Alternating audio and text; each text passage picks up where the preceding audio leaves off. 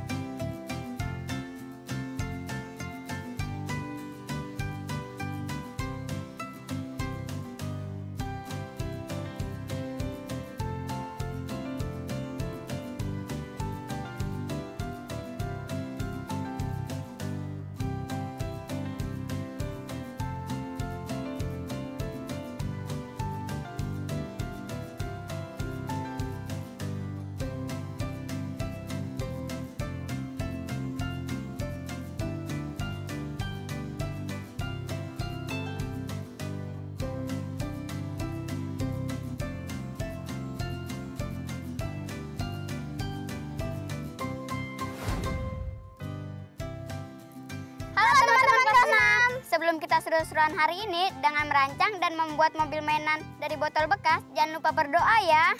Siapkan juga buku catatanmu untuk mencatat sesuatu yang perlu dicatat nanti. Semangat teman-teman!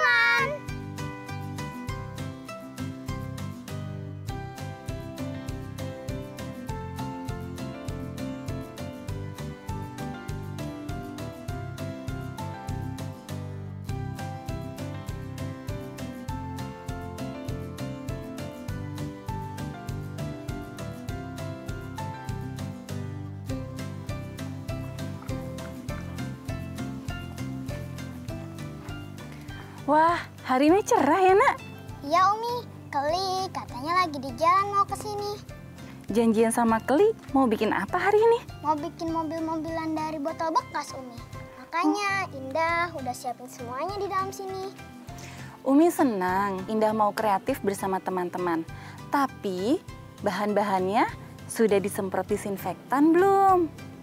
Nanti kalau main sama Keli, jangan lupa disemprot ya. Ini apa? Kalau itu rancangannya Umi. Indah dan Ngelik sudah buat rancangannya dulu di rumah. Isi rancangannya apa saja? Bahan-bahan dan alat apa saja yang dibutuhkan Indah Umi? Di sini Indah memakai bahan apa saja yang ada di dalam rumah. Indah juga udah tulis langkah-langkah cara pembuatannya, Umi. Nah, teman-teman, kamu juga buat rancangannya ya, supaya nggak bingung nanti di tengah-tengah proses pembuatannya.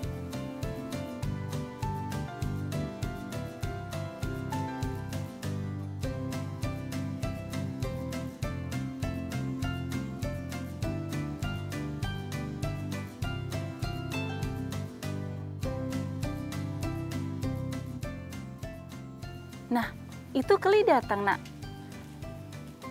Ibu, maaf ya, kami baru sampai. Nggak apa-apa kok, Bu. Ini loh Indah yang udah nggak sabar main sama Keli. Oh iya, ini saya bawa perlengkapan buat anak-anak duduk lesehan di bawah, barangkali bisa lebih nyaman. Oh, Gimana, Bu? boleh, Bu. Bagaimana kalau di situ aja? Sini aja kali ya kita Iya, pesan. heeh. Oke.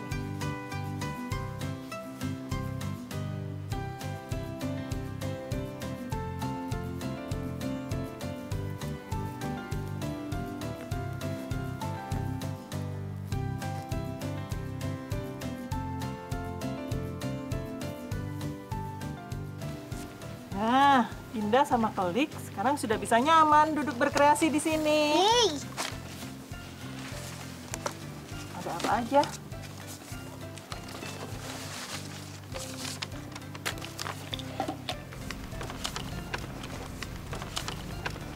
Bahan-bahannya Umi semprot pakai disinfektan dulu ya.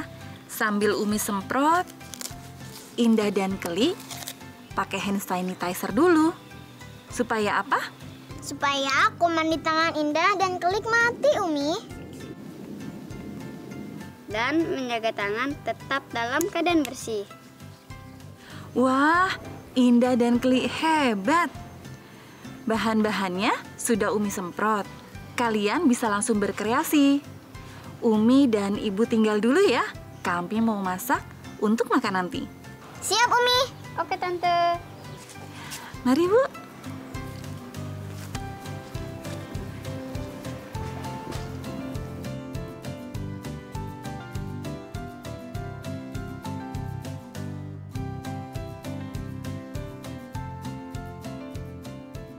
Teman-teman kelas 6, sekarang waktunya kita membuat mobil mainan sendiri.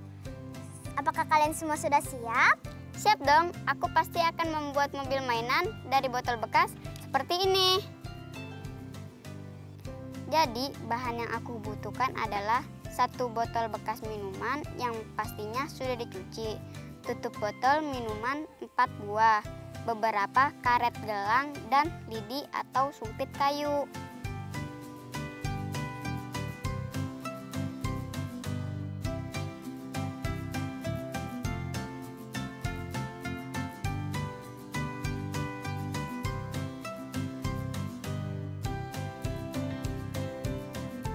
Kalau aku akan membuat mobil mainan yang seperti ini. Bahan-bahan yang aku butuhkan adalah kotak bekas kemasan sereal, selembar kardus, lidi, dan karet gelang.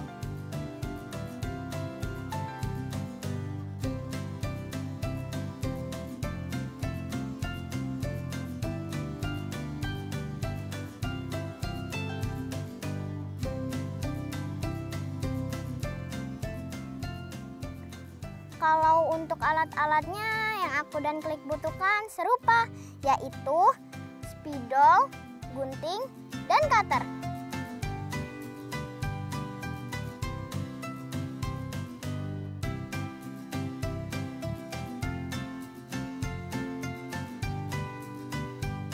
Oh iya teman-teman, kalian harus hati-hati ya menggunakan cutternya. Jangan sampai tangan kalian terluka. Ya kan Klik? Iya, benar. Dan untuk bahan-bahannya harus sama persis seperti yang kami bawa. Teman-teman juga bisa pakai bahan-bahan yang ada di rumah dan kreasikan saja mau buat seperti apa. Semua rancangannya sudah kami buat seperti ini. Teman-teman di rumah juga sudah buatkan di buku catatan? Setelah lihat hasil akhirnya seperti yang aku dan Klik jelaskan tadi, kira-kira teman-teman bisa tahu tidak apa saja langkah-langkahnya?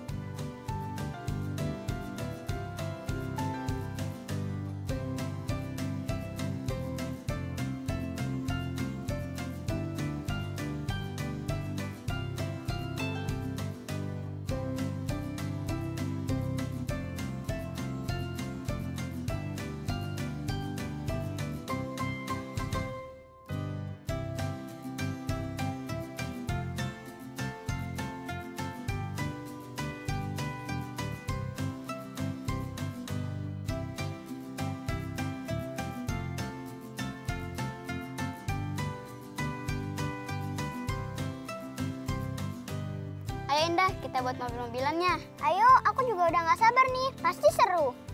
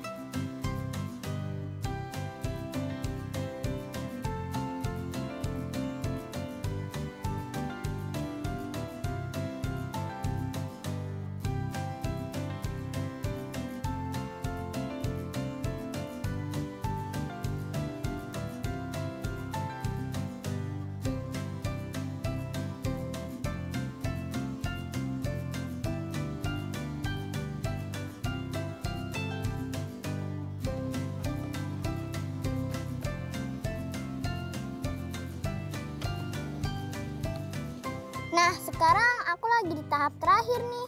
Langkahnya yaitu Aku juga nih, tinggal angkat terakhir dan kita sama-sama memasang karet gelang biar rodanya tidak mudah lepas. selesai. Tuh, mudah banget kan teman-teman? Selain mudah, bahan-bahannya juga mudah ditemukan di sekitar rumah.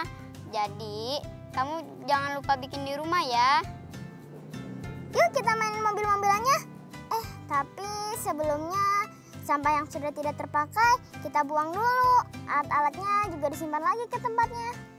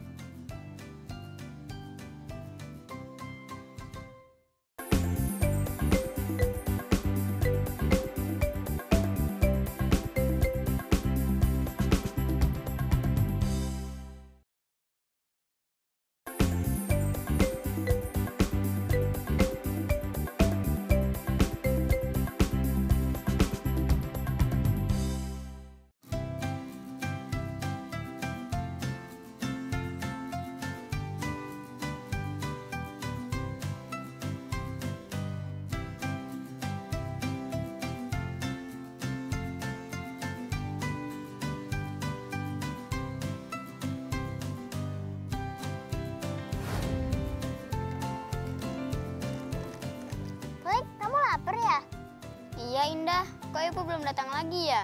sabar, sebentar lagi juga datang kok. Nih, ambil aja ini. Aku punya roti. Kalau ini aku ambil, kamu makan apa? Aku belum lapar banget kok. Terima kasih ya Indah. Kelik, Indah, maaf ya, Ibu dan Umi masaknya tadi lama. Nggak apa-apa kok Bu, tadi Klik sudah dibagi roti sama Indah, makanya perut Klik sekarang udah agak terisi. Wah, terima kasih ya Indah sudah mau berbagi dengan Kelik. Mobil-mobilannya sudah jadi. Sudah, Umi. Ini lihat. Wah, hebat. Keli dan Indah kreatif banget. Bisa melaju juga loh Bu.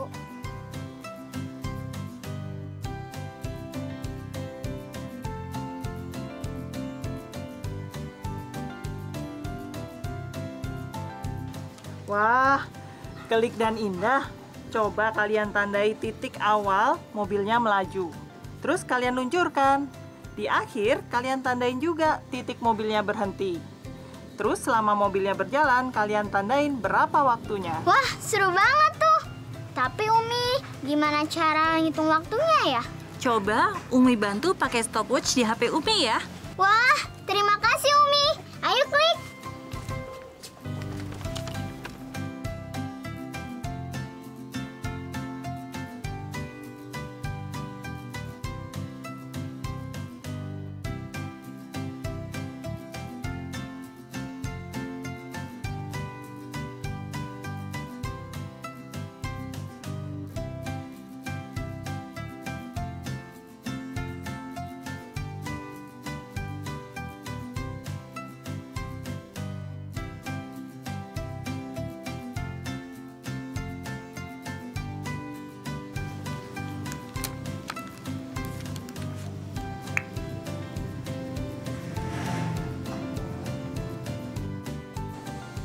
Satu, dua, tiga.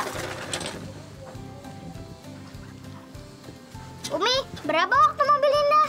Mobil Indah berhenti setelah dua detik. Mobil Keli satu detik.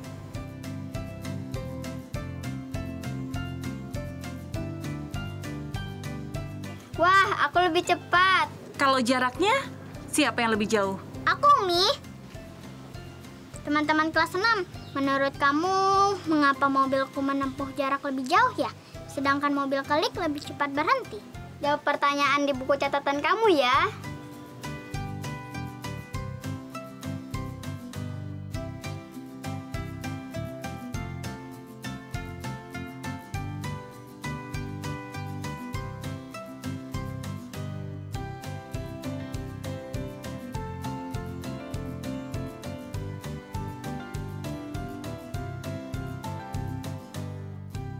Tadi kan di bidang datar. Sekarang coba kalau melaju di bidang miring, kira-kira mobil siapa yang melaju lebih cepat? Hmm, di mana ya? Kalau di sini, Oh iya bisa, ini kan bidang miring.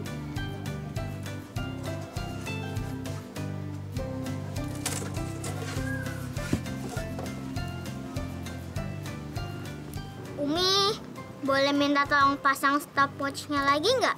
Boleh, nak. Klik duluan ya Umi. Satu, dua, tiga.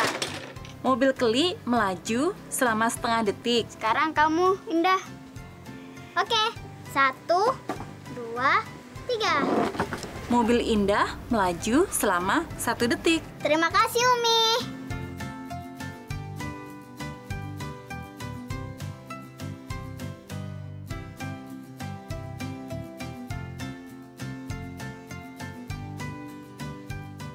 Teman-teman, tadi kami baru melakukan dua percobaan di bidang miring dan di bidang datar. Setelah mencatat waktunya, coba kamu tulis di buku catatan kenapa di bidang miring mobilku lebih cepat sampai di bawah.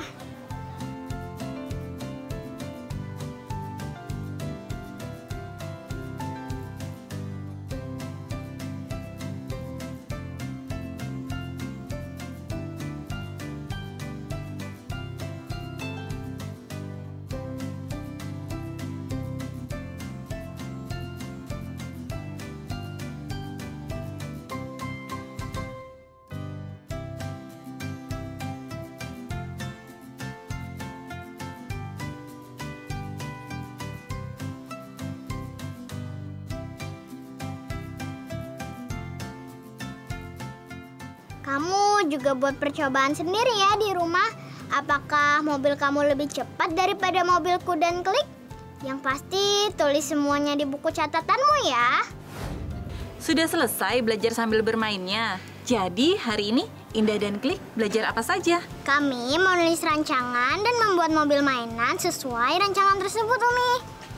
Terus, tadi kami juga menghitung perbandingan jarak dan waktu tempuh dari dua mobil-mobilan ini dan seru banget. Alhamdulillah, kalau Klik dan Indah senang untuk berkreasi. Ibu dan Umi senang lihatnya. Ayo, sekarang kita makan dulu supaya Indah dan Kelik nggak sakit dan bisa membuat mainan yang jauh lebih kreatif lagi. Ayo. Terima kasih, Tante.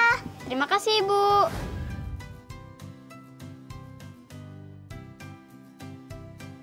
Nah, teman-teman, kalian bisa melakukan kegiatan ini di rumah. Mintalah bantuan orang tua atau orang dewasa lain untuk membuat mobil. Setelah itu, bandingkan laju kedua mobil tersebut.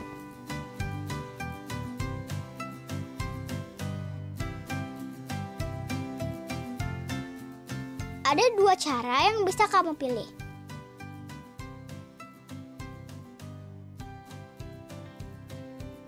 Pertama, lakukan kegiatan ini di bidang miring. Kamu bisa membuat bidang miring sendiri dengan menggunakan selembar papan. Jalankan mobilmu secara bergantian dan ukur waktu yang diperlukan untuk tiba di bawah.